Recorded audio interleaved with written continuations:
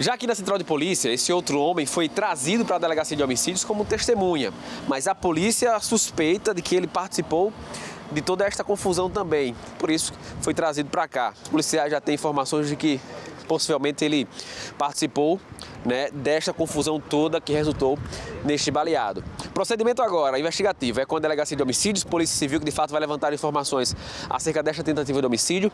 Esse homem que a gente conversou anteriormente, chorando, desesperado, com medo de morrer no presídio.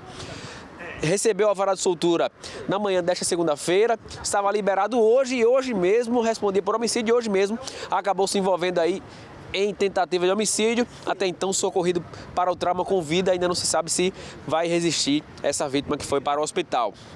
Agora, de fato, né, são, é uma vítima, duas pessoas presas. A informação de que duas pessoas estavam envolvidas nessa situação. Um a gente já gravou e confirmou aqui em entrevista que participou de fato deste caso.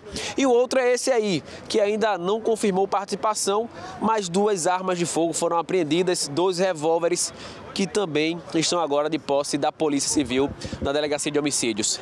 Caso que a gente vai continuar acompanhando, inclusive trazendo atualizações acerca do estado de saúde desse outro homem que foi baleado na cabeça e levado para o Hospital de Trauma de João Pessoa.